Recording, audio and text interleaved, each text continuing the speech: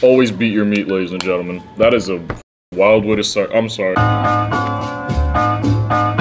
Good morning, everyone. Gotta feed the fishies. I know we're running a little bit behind schedule, guys. I'm sorry. I will. I will I'm sorry. All right. All right. Gotta go get ready for work. Getting ready for another afternoon shift. Should be all right. is the land of sky blue waters. Always beat your meat, ladies and gentlemen. That is a wild way to start. I'm sorry. Today is the first day of me having this, uh, the, the meal prep and stuff, and I'm currently having my pre-workout meal, and so far it's tasting magnificent. I'm having some Chick-fil-A sauce with it, and I didn't think it would work, but it does. The reason why I say always beat your meat is because uh, I had my lunch, my chicken and rice or whatever from the, the, the little Fiesta Lime chicken. It tasted great magnificent. Uh, however, one thing that I should have done that I didn't do this time was beat the meat. I should have just pounded the shit out of that meat. Cut me some slack. I didn't have enough time. Uh, I started the meal prep really late. I I think I started the meal prep at like 8.30, maybe 9 p.m. until 12.30. I guess if you think about it, three and a half hours for, for the rest of the week, that's really not that bad compared to, you know, if you had to make a meal every single night. This is tasting really good here. Uh, I'm currently debating on a sauce to get for this meal. Uh, I don't know which sauce I should buy. Honestly, right now, I'm way more than content with Chick-fil-A sauce. This is... This is really good. The broccoli tastes good. The ground beef tastes good. And even the rice. I guess right now it doesn't really matter when it comes to the calories here because this this has a lot of calories. This is 160 calories per uh, two tablespoons. As I mentioned, it doesn't really matter right now because I'm, you know, I'm like I'm bulking and I don't really care if it's lean or not bulk. When it does come to the time that I start doing like a lean bulk or, or when I start cutting, that's when I'll switch to like a sugar-free type of sauce, which I'm, I'm looking at a bunch of sugar-free sauces right now at Walmart, and there's a lot of options, so I think I'll be alright. Either way, give me a sec. I do like this approach a lot of um, basic rice, basic meat, a little bit of seasoning, nothing too crazy, and you know the calories are decent. I mentioned a few days ago where like I used to pile on these like like I used to do like one box of Rice-A-Roni for one meal, and then a bunch of meat, and it's like at that point I, I just wasn't enjoying the food. This time I'm actually genuinely enjoying the food. So W in the chat one sec. And I guess on top of it, I I like food in general anyway. So, uh, especially food that tastes good. Maybe bulking's not as hard as I thought it would be. Maybe cutting's the part that's really difficult, but you know, it's all good. And that's not to say that the food that I made a while ago with like the the the, the meal prep and stuff for bulking, that's not to say that it didn't taste good. It, it tasted good, but God, man, when you prioritize like flavor and also kind of like eating in increments rather than just stacking the food all at once, it makes the bulking a lot easier. So for you out there that are, you know, like interested in bulking and stuff, I'd suggest, you know, have great meals. Make sure to, you know, cook for yourself, of course. Make sure it tastes good. And, you know, you don't have to eat so much all at once. You know what I mean? As long as you have, like, a good amount of calories, you know, uh, over time throughout the day, you'll be just fine. So if you're gonna have a pre-workout meal, make sure to eat it like an hour before you go to the gym. Or sorry, make sure you have an hour of digestion.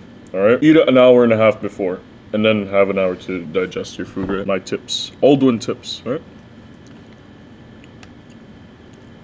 Or just take steroids. That would be a fun video to do. Will Aldwen get on steroids? Probably not, to be honest. I do know people that are enhanced. As cool as it is to have like bigger muscles, I feel like in the longevity, if you just genuinely train hard, eat well, you know, sleep well, all that kind of stuff, I think it's more fulfilling than uh, taking steroids. I think. I don't know. I could be yapping out of my but that's just the the big Aldwen's opinions on it. Obviously, nothing against the people who are enhanced, but what's an extra 10 pounds of muscle gonna do to your life? You know what I mean? This is an analogy that kind of makes sense. The people that are natural enjoy the process more than people who are enhanced. The people who are natural, they, you know, they enjoy the journey to the destination. Some people that are enhanced, they they just want to get to the destination. So, I don't know.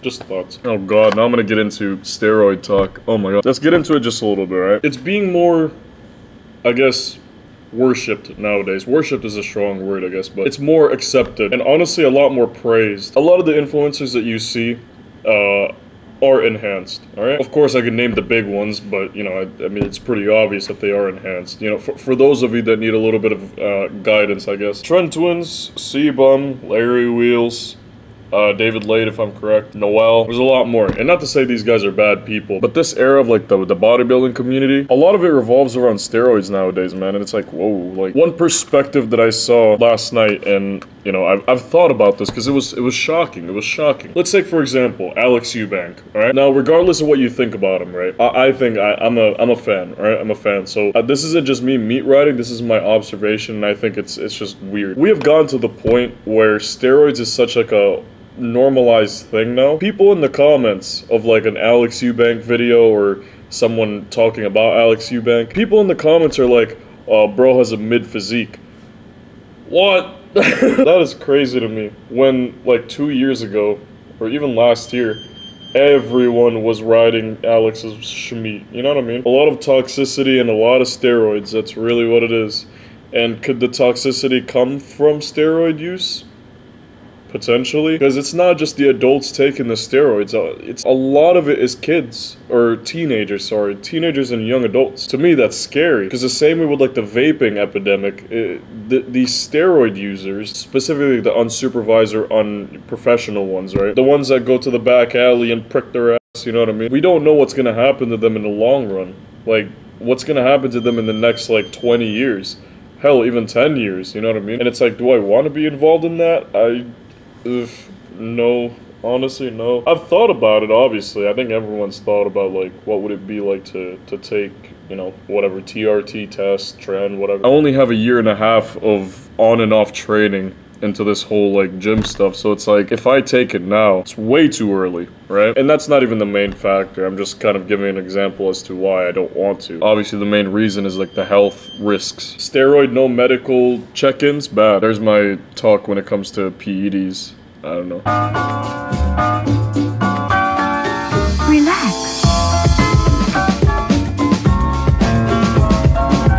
Right, this is really gonna annoy some of you guys, but uh, let me let me fear monger here just a little bit. Boys, fall is coming, or fall is almost here. It is cloudy.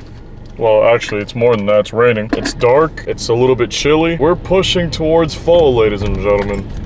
And uh, that push is almost complete. All right, I'll make sure this is the last time I complain about it, right? The last time. Depending on how you look at this, this next thing I want to say, this could either be like a thank God moment for you guys or like a, oh man, this is unfortunate. This video right here, this is episode 253 of the daily vlog series. And as some of you may know, there's 365 days in a year. So you know what that means, 365. We're getting close to having only 100 episodes left. If I do the math right, we have 112 episodes. Is it 112 episodes now? It's kind of sad. It's kind of scary. I can't believe that I've been doing this for 252 days straight. And for the people that, that hate me or something, uh, this is a W because, you know, we're, we're getting close to the end. For the people that love the series, this is kind of an L because, you know, we're, we're getting close to the end. But, but I'm here to fulfill the people that like the series because I've already mentioned this before. I'm gonna continue the series. All right. I don't know how I feel yet. I don't know if I want to take like a one week break, but I don't know. We'll just have to see. But point is, gym time. Push a day.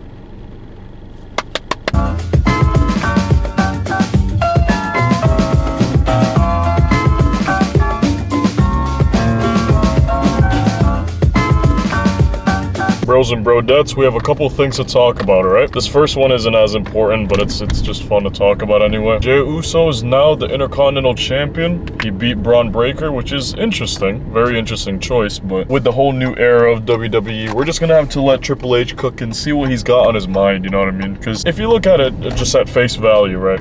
Uh, Bron Breakker, he is one of the more like pushed uh, superstars in WWE, and and when he got the Intercontinental title, uh, I think it was in SummerSlam, SummerSlam. Yeah, he only had it for I'd say two months, maybe two months, and then he lost it to Jey Uso, which interesting, but I feel like it's gonna be part of a different and bigger storyline. So, um, yeah, I, congratulations to Jey Uso. He's now the he's now the champion. Cool. Yeet. The more important part, all right? Fitness. Yes, more fitness talk. Ah, this is another phase in my life, isn't it? This is just like the yearly fitness phase, but I'm gonna. Uh, I'm just gonna let it ride out. But point is, I had a nice little pump today. I got to the gym around like 8:30, give or take, and we got done at 11. But the main important topic, so I meal prepped three things uh, one for lunch, one for a pre-workout, and one for a post-workout. Lunch being uh, the chicken uh, meal, pre-workout being the, the the ground beef, and then the post-workout being the salmon. Which one do I like best? I think for now I'm gonna have to say the pre-workout. I think. Which one's the worst? And it's okay. I say this like it's bad, right? But no, that's not what I mean at all. Like all the meals that I made, fantastic, right? But my least favorite because it's, you know, I only have three options here. I think the least favorite is the fish. But although the, the salmon meal, delicious. I guess I would prefer the other two more, I guess. I don't know. There's a lot of food back there that I'm gonna put in the fridge. Hopefully there's enough room. If not, I'm gonna cry. That's about it, boys. Thank you all so much for watching. Love you guys as always. I'll see you guys tomorrow, alright? Bye. Turn around. No, I got options. Begging me to go, but I tell her to stop it. Always got the key, and my heart is the lock it. Yeah, yeah, yeah, yeah. I like a pro, but you're really a novice.